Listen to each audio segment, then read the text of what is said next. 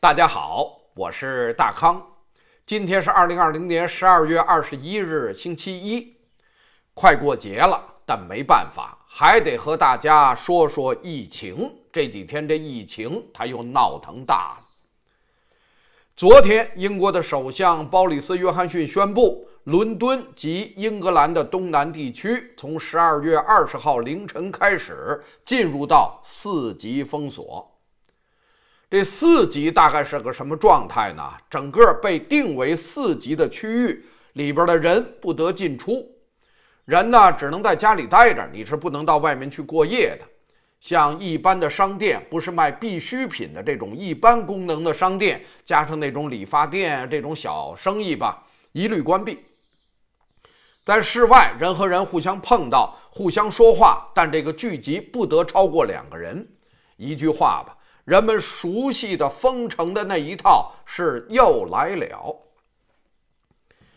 整个封城的这个行动没有经过议会的批准，没有经过议会的投票，是直接通过英国的紧急法来执行的。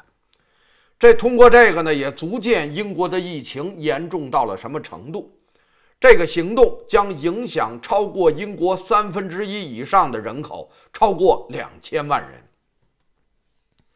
那为什么会有如此突如其来的封锁行动呢？那是因为一种变异的新冠毒株正在英国是快速的蔓延。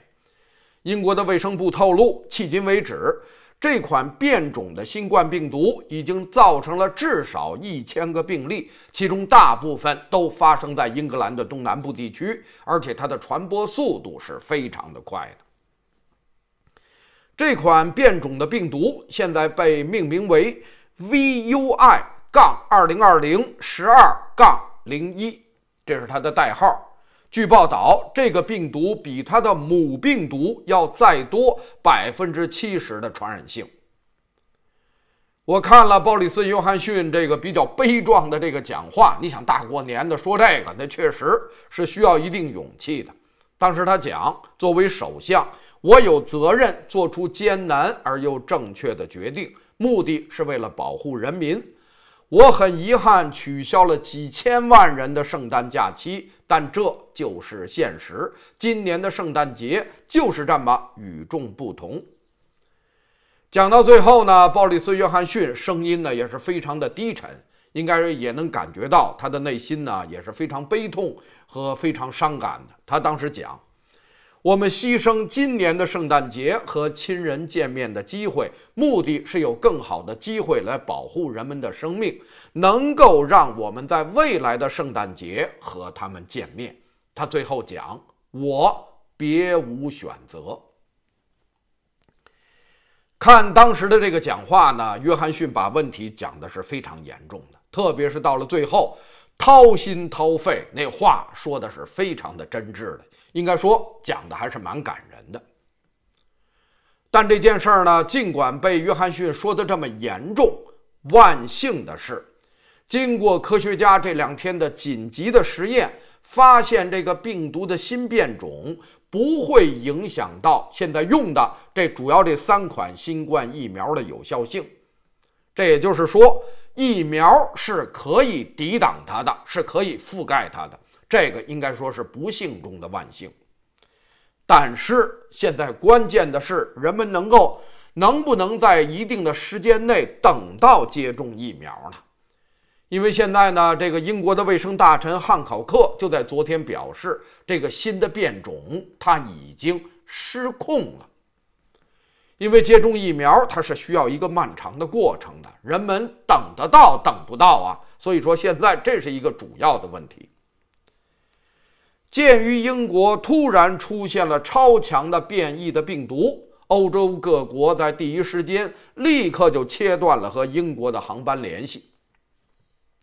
那你说这病毒突然从哪儿来的呢？现在人们就开始追，现在人们一直就追到了南非，因为比这个时间早前一段时间，南非的病毒也发生了变异。变异以后呢，这个病毒是专奔年轻人下手。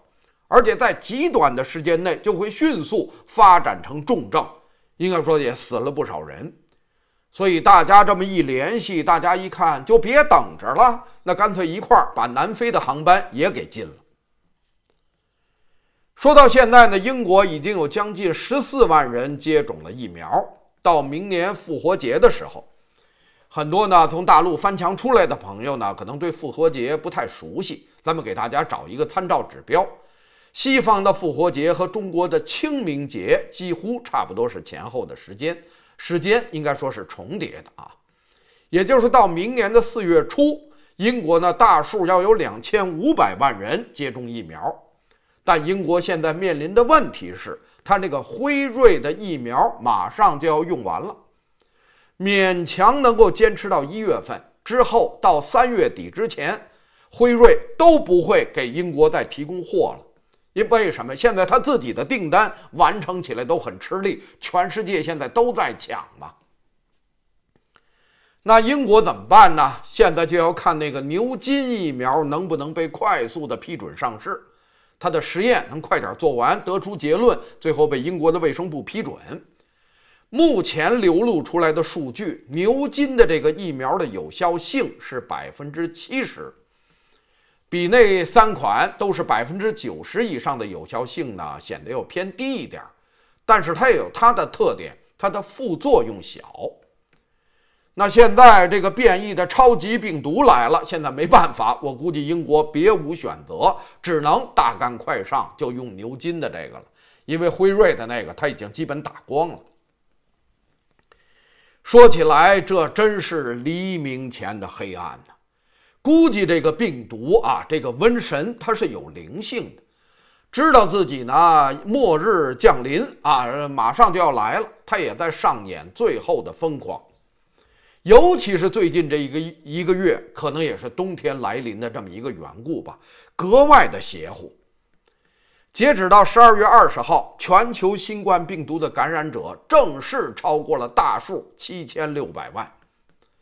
在过去的这一个月里，全世界有一千八百六十五万新感染的病例，创下了新冠病毒流行，呃，流行以来三十天内感染病毒例数的记录。三十天内一个单位，最近这三十天那是格外的厉害，将近两千万人感染。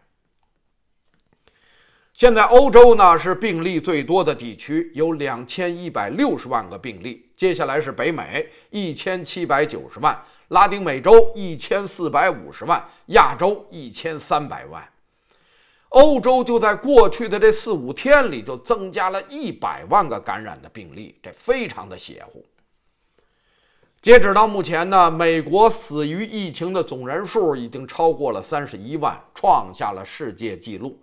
美国也因此成为了世界上第一个死亡总人数超过三十万的国家。就在过去的这一个星期里，美国是每天死于疫情的人数就超过了两千五百人，有些天超过了三千人。每天就死将近三千人，这应该是非常可怕的一个状况啊！所以在这儿呢，要特别的提醒大家，马上就要过节了，疫苗马上就要来了啊！就在最后的时刻，眼看天快亮的时候，在最后的时候病倒，那真是太冤了。尤其是这几天，刚才说的美国，一天就躺倒将近三千人，那你说这些人冤不冤呢？已经看见病毒了，最后死了，你说真是冤啊！所以在这儿呢，我也希望大家度过一个平静的圣诞假期，特别是北美和欧洲的朋友，自己就在家待着吧，啊，也就别热闹了。约翰逊说的是对的，我们牺牲今年的圣诞节和亲人见面的机会，是为了能够我们在未来的圣诞节能和他们见面。这话话糙理不糙。在这儿呢，特别要住在英国、在欧洲、在美国和在南非的朋友要格外的保重，大家一定要注意，坚持熬过、挺过这个漫长的二零二零年。眼看就剩七八天、十来天的时间了，千万别在最后的这几天倒在这个病毒下。希望大家呢都格外的珍重。说下一个话题。有大陆的朋友呢，最近问嘛，因为我前一阵做了一个这方面的节目啊。这两天呢，有很多朋友都在问，说大陆呢开始动员要打疫苗了。有一位朋友呢，在体制内，我估计就是在医疗系统之内，他还专门咨询了一下，人家明确的就跟他讲，进口的基本你就别指望了，贵也轮不到你，你愿意花钱这事儿也轮不到你，那都是给权贵阶层准备的，那都是给共产党的干部准备的，那作为普通老百姓，只能就去打国产的了。所以朋友就问。你们在外边呢得到的信息多，那外边对国产疫苗到底是个什么评价呢？那我们要不要接种这个国产疫苗呢？在这儿呢，跟大家也讲讲我听到的一些新闻和我看到的一些资料。根据南华早报十二月十八号的报道，中国首批五千万剂疫苗计划在明年的一月十五号春运高峰到达之前完成接种。第二批的五千万剂疫苗计划在二月五号之前完成接种，官方现在正在筹备向全国各地分发这一亿剂疫苗。有国产的吗？对，这有进口的吗？对不起，没有，这都是国产的。这次采用的疫苗呢，是由国企国药集团和民企科兴生物来研发来生产的，因为每个人呢需要打两次，一剂二百多块钱。啊，加起来四五百块钱的样子。第一批这五千万剂疫苗呢，是优先给医护人员、警察、机场和海关人员、公共服务人员，其目的是为了减少在春运最繁忙的时期啊，导致这个病毒出现那种高传染的风险。这个呢，因为他每天都要面临和接触人群嘛，首先给这些人接种。那就像那位朋友讲的，马上马上是一亿剂疫苗就要开始大规模的接种了，大规模的疫苗到来的时刻，那马上就要开始了。那人们对这个国产疫苗的安全性的担忧，现在也就格外的突出起来，行不行啊？因为呢，到目前为止，为什么人们担心呢？中国所谓名号下的这五款疫苗中，还没有一款完成三期实验，获得国家药监部门的最后认可。所以说这个呢，我可以跟墙内的朋友们讲。英国的《金融时报》周四发表了一篇文章，说中国研制的疫苗中有的连第一阶段动物实验的数据现在都看不到，都没有被公布。就进入了人体的临床试验。文章讲，目前没有一款中国疫苗获得了中国国家药监局的批文，也就是说，这个疫苗大规模的接种在法律上它是违法的。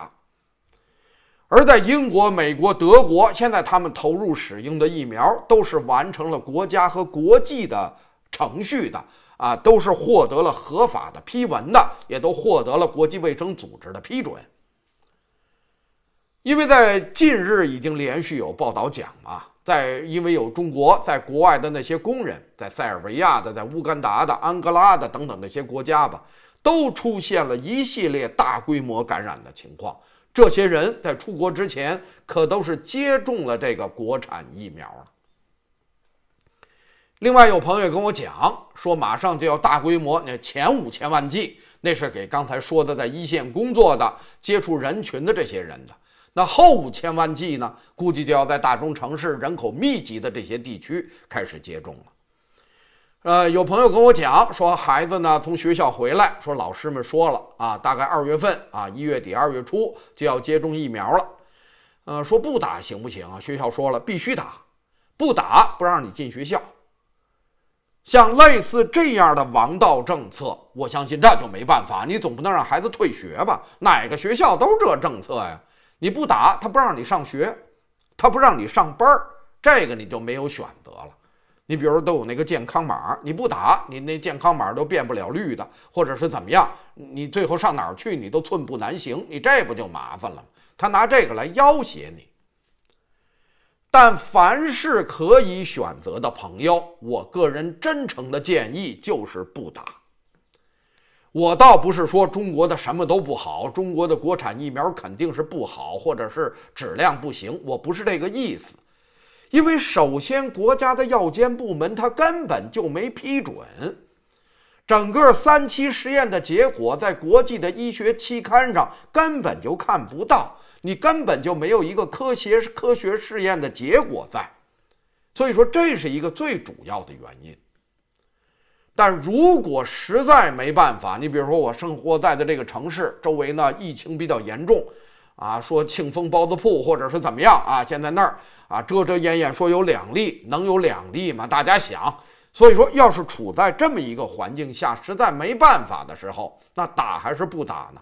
我在这儿建议，那就直到您要看到一个标志，什么标志呢？比如说哪天习近平带头打了。打的是国产的，之后呢，各级领导、省市各级领导，包括你们单位领导，为了给国人对信疫苗有信心，也都啊撸胳膊挽袖子带头打了。这时候你再打也不迟。尽管没有国家药监局的批准，尽管没有三期实验的结果，但如果你们身边的领导都打了，那你说怎么办呢？看到这个标志的时候，嗯，你就打吧，那就没扯了。啊当然有朋友说了，那你怎么知道习近平他们打的是什么呢？那这个呢就没办法了，因为在墙内。请问你还有别的验证的办法吗？所以说，要我说，跟墙内的朋友们讲，如果领导带头啊，那些党员同志们都带头了，大家都掀起了一个支持国产疫苗的风潮，像人家现在以色列、俄罗斯，人家非常齐心啊，那。就用我们国产的，或者是怎么样？俄罗斯那家伙，普京自己带头，他女儿都带头打，然后各级的政府高官都撸胳膊挽袖子打疫苗。你为了给国人信心嘛，这个你就没话说了，那你就硬着头皮打吧。但是我相信这一幕在俄罗斯可以出现，但在中国它是不会出现的。美国人呢？前一阵儿面对他那么高质量的疫苗，有效性百分之九十二、九十五到这个程度，人们还是半信半疑呢。当初呢，一周之前只有百分之五十二的人表示，嗯，愿意接种。后来呢，主管这件事的彭斯副总统带头，他先接种了疫苗。另外，包括啊，像什么小布什、奥巴马这些名人吧。啊，也都打了针了，也都打了疫苗了，还做了一些现场直播啊，搞了一些视频。据说呢，现在点头觉得应该打的人超过了百分之六十。估计美国的下一步呢，因为大家看每天将近三千人的死啊，这个受不了啊。我相信呢，美国政府也会想些办法，下一步就会有各种明星要带头示范。你比如说篮球明星詹姆斯啊、库里啊，包括那些大的这个演艺明星啊，那怎么办呢？因为你打球或者是干嘛，你也需要疫苗嘛。呃，正好你给大家直播一下呗，对不对啊？来鼓励人们来接种疫苗。说到英国的大明星，那没别人了，那就是女王夫妇老两口了。现在呢，女王也明确讲，我要带头打。啊，打只要我打了，当然不至于现场直播了。老太太都九十二、九十三了，那也不至于啊。但是她表示，我只要打了，我第一时间我就向社会通报。之后呢，鲍里斯·约翰逊也搞了一个现场直播打疫苗。其他的国家刚才讲了，像普京、内塔尼亚胡这些人都以身作则啊，现场直播打疫苗，表示了对自己国家疫苗的信心，表示了他们的支持。那下边呢，我们就看看中国吧。中国呢，据说在八月份就搞出了疫苗，当时号称勇夺世界第一，当时和俄罗斯还争呢。但这东西你到底管不管用呢？你有没有副作用呢？我还是那句话，让领导同志们先打吧。如果在可以选择的情况下，他们要打，那你就打；如果看不见他们打，那你就最好别打。特别是如果有可能的话，不要给孩子们打，还是要等一等。一个是等一等那个国家药监部门的批文，啊，整个三期试验的结果在《柳叶刀》啊、《自然》杂志，甭管是什么吧，那种国际期刊上他们公布的这些结果，大家也看看他们的治愈率、有效率啊，他们的这个副作用到底是一种什么情况。实在没办法，将来呢，那就等着花高价来打进口疫苗吧。那就到今年的下半年了，反正能扛一阵儿就是一阵儿。看不到领导先打的这个标志，我建议您先离这玩意儿远点儿。在这儿呢，最后祝大家有一个平静的节日假期。我建议大家找一本书，听听音乐，过一个平静安详的圣诞假期吧。在这儿呢，祝大家圣诞快乐，新年快乐！以上呢就是我们这期的节目，谢谢大家的收看，我们下期节目再见。